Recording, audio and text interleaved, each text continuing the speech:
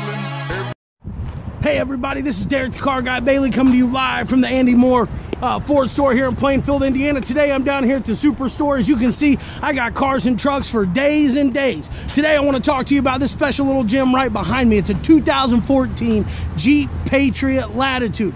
And this thing is beautiful. I know what you're saying. What kind of color is that? Is that black? No? Is it blue? I don't know. You know what? I'm calling a Midnight Dolphin because you just don't know. And if Crayola can make it up, so can I. But this 2014 is in great shape. 32,000 miles. Let me show you the inside here. You've got great uh, black interior, super clean. As we come down here, check this out.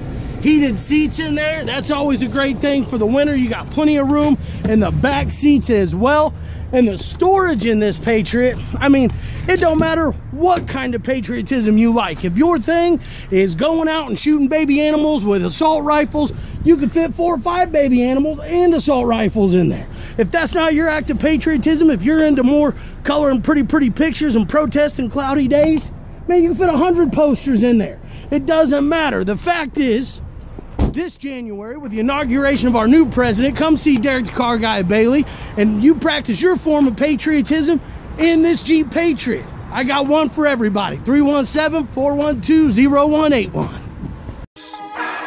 Every day I'm hustling.